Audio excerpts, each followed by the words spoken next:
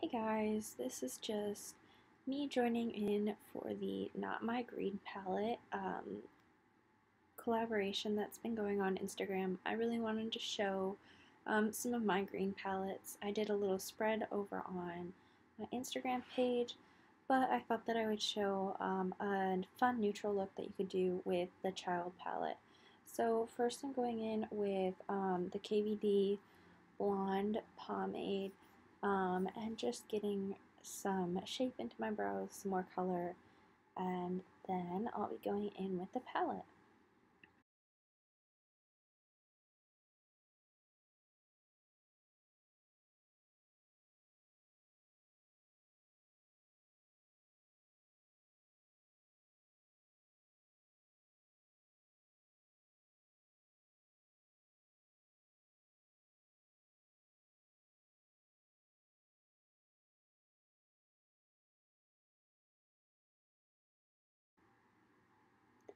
Okay, so all my brows are done, and we're going to be going in with The Child from ColourPop. Oh my gosh, I love this palette so much. Uh, getting it, getting it open frame. Um, but I love the reflect of the shimmers, and I just love the darker greens that it has. Um, honestly, this is one of my favorite uh, ColourPop palettes that I've had so far. Um, as you'll see, I'll pull out one more um, during this video, but what I'm going in with right now is going to be Baby Face from the Child palette, and it's this nice, like, light kind of, mm, I would call it like an olive tone green, um, or maybe like an army green, but it's a really good, coolish color to go in with um, to start out our look, and I'm just going to be placing that um, so in the crease and then also shaping up the outer corner and um, kind of bringing it in a little bit. I've really gotten into the habit of um, this certain eye shape where I do a little bit of a wing but not quite. So just going in and over. Um, like I was saying before, this is one of my favorite matte um, formulas from Colourpop, and I've also really been enjoying their new um, Super Shock shadow formula that is available in their palettes. Um, so that's something that I'll utilize today. Um, another thing that I am utilizing today is the Aura and Out palette by ColourPop. This came out this summer um, and it was part of their pastel range. So uh, the shade that I dipped into there is Fresh Cut and it's this nice bright green, um, bright kind of yellowy green and I'm putting that into the inner corner to just brighten the inside of the look.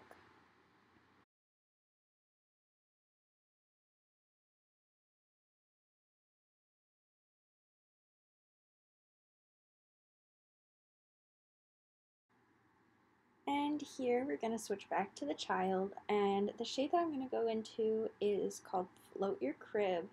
It's a bit darker olive um, and I'm using this on the outer corner as well as um, just kind of putting this all over the lid for more of a smoky look today.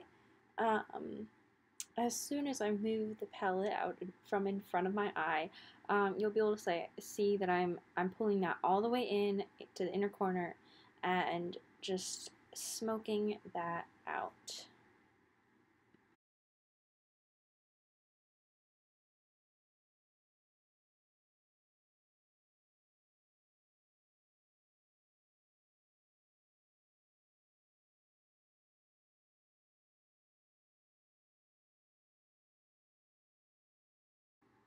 Okay, next I'm going to be taking um, Droid Protocol and running that down the lower lash line. I also put Float Your Crib underneath my lash line. And I'm going to be kind of putting that in that outer corner as well, just a little, little bit. Um, and then next we are adding Precious Cargo. Now this is one of the ColourPop's um, Super Shock shadows and I'm just going to be placing that over the center of my eye. I really love how they've been doing um, really iridescent shadows in this formula because I think it works so well for it. Um, and it just kind of gave a little bit of like glossiness to my look um, and kind of popped my eyes out a little bit. it really made the um, the smokiness die down a little bit. Um, so after that, I'm going to be adding a little bit more blending, um, taking a little bit more of that green color, and uh, kind of fanning out the edge into a little bit of a wing, um, making sure that I like the shape of our eyeshadow look today. And then I'm going to be digging into my face products. So first, we are going to be using the e.l.f. bronzer in St. Lucia.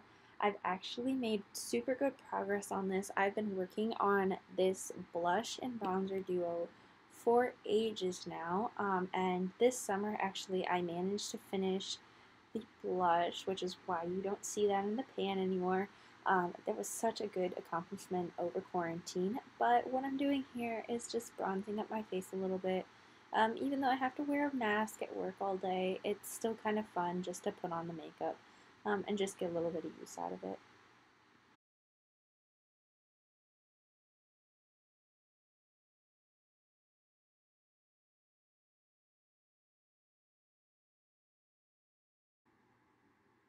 Okay, so in here I'm going to be taking my custom blush. This is something that I mixed myself several years ago and put inside a Tarte, um, Tarte Blushed Compact. Um, if you're looking for, uh, you know, a similar color, it's it's the um, the pink color from Modern Renaissance is the base of this. Um, it's really pigmented, so I've been working at it for years. Um, next up, I'm taking my spoon highlighter from ColourPop. Um, and this I've also been working at for a considerable amount of time. I finally repressed it, so that's super exciting. Um, and I'm just highlighting and taking in some under underbrow highlight, and then I'll go in for a little bit of inner corner highlight as well.